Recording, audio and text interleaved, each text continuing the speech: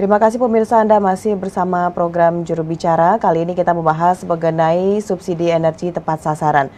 Baik, Pak Dirjen tadi sudah menjelaskan bagaimana ketersediaan dari energi yang ada di Indonesia dan bagaimana juga pemerintah bersama dengan pihak-pihak lainnya melakukan kolaborasi agar energi ini tepat sasaran kepada masyarakat di seluruh pelosok di Indonesia.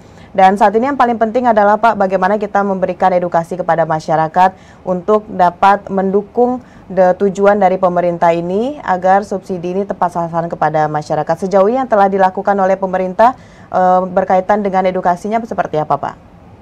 Ya, jadi e, Pertamina ini sudah melakukan edukasi ke masyarakat ya lewat media massa, lewat media sosial ya bahwa penggunaan aplikasi My Pertamina tujuannya adalah baik yakni agar subsidi energi tepat sasaran ya sebab sekali lagi 60% pengguna atau uh, penikmat uh, bahan bakar uh, fosil ini adalah orang-orang kaya yang sebetulnya secara ekonomi mampu membeli energi atau membeli bahan bakar minyak sesuai dengan harga keekonomian. Nah, uh, aplikasi My Pertamina ini ini kan uh, berlaku terutama untuk uh, mereka yang akan membeli uh, pertalite dan solar ya. Karena pertalite ini uh, memang subsidinya tadi sangat besar begitu juga solar. Ya dengan asumsi bahwa pengguna solar ataupun pertalite ini adalah mereka yang uh, masuk ke dalam 40% orang yang uh, membutuhkan ya membutuhkan subsidi energi.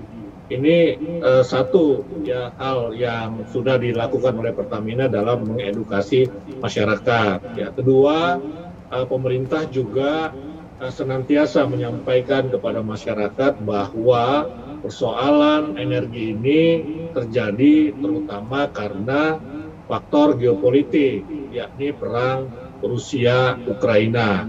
Ya, perang Rusia Ukraina ini mengganggu pasokan energi. Kita sebetulnya masih uh, bagus ya kondisinya coba di negara-negara Eropa yang selama ini ketergantungan energi kepada Rusia itu sangat tinggi, misalnya gas ya begitu. Nah kita ini uh, masih baik ya, tetapi bukan berarti kita tidak kena dampak, pasti kena dampak karena tadi saya sampaikan ini adalah persoalan global.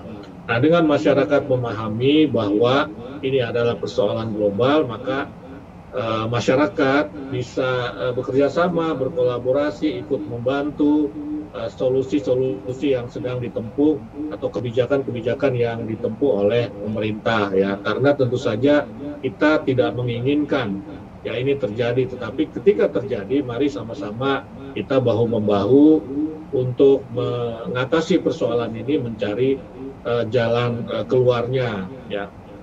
Nah, yang ketiga, saya kira penting juga mengedukasi masyarakat untuk mulai uh, berhemat dalam penggunaan energi fosil.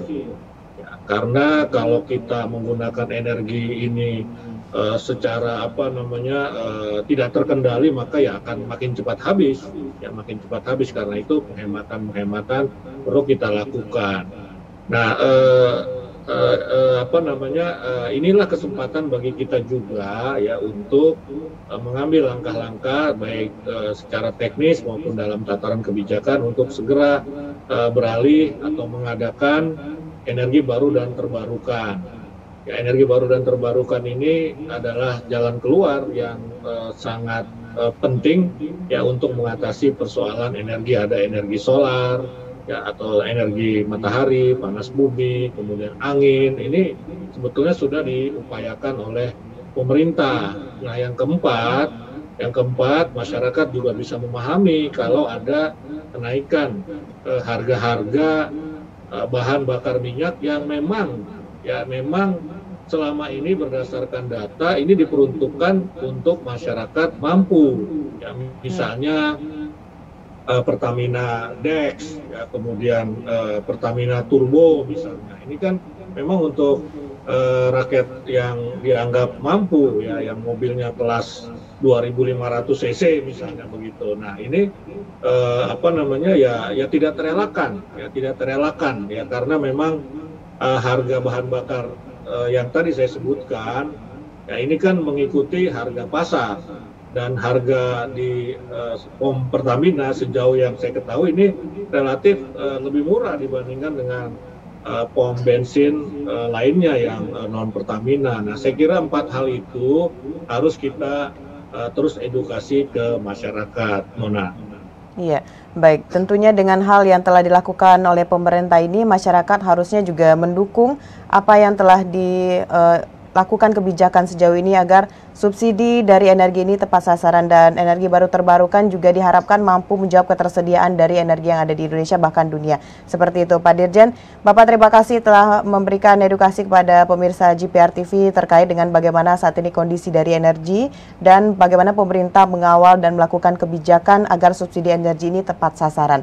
Terima kasih Pak Dirjen, tetap jaga kesehatan. Assalamualaikum Pak Dirjen. Waalaikumsalam. Baik pemirsa, itulah dialog kita bersama dengan Dirjen IKP Kementerian Komunikasi dan Informatika Republik Indonesia Bapak Usman Kanson. Terima kasih bagi Anda yang telah menyaksikan. Saya Bona Zarin pamit. Sampai jumpa.